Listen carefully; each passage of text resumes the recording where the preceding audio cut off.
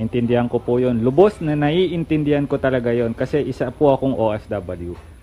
So, one of those na I'm working out is to find anybody, any legit company to give us a most affordable flights uh, payment, no? At nakakita po tayo nun. Ito po yung WCA Travel and Tours. Sa lahat ng mga nakikinig, kahapon I started. I started to send my post sa aking Facebook page Storya ni Juan at sa aking pong ito sa Facebook natin account na John Godfrey which is my personal Facebook account no? Naglagay ako ng pinakamababang ticket fare Philippine Airline papunta po ng Damam ah, Damam to Manila and Riyadh to Manila.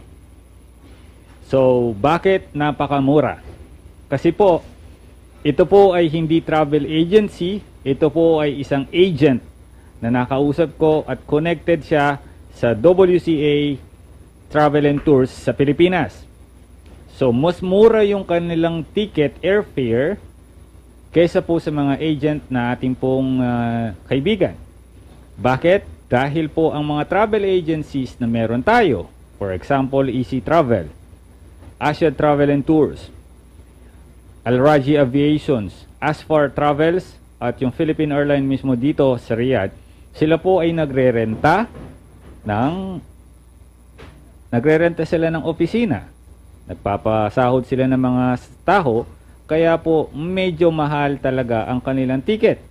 Ngunit, subalit bagamat, marami na rin po silang natulungan. And one of, most of the Filipino na umuwi po mula Saudi Arabia ay nagpabook po sa mga nasabi kong travel agencies.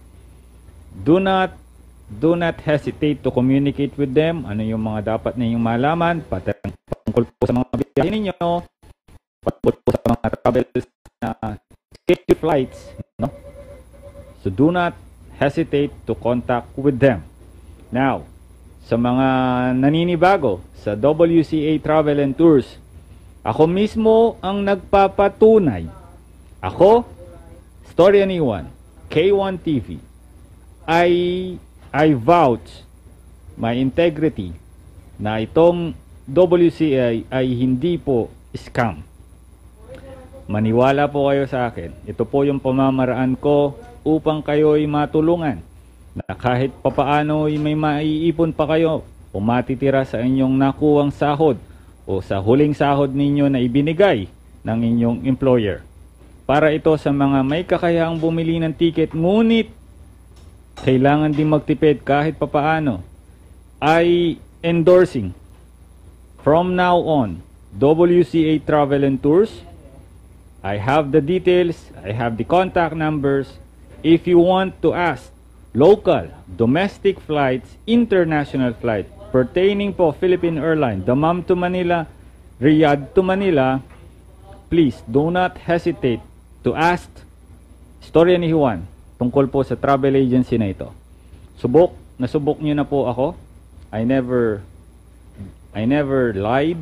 Hindi ko kayo hindi ko kayo pinirahan and I ne I will never do that for real. I will never do that.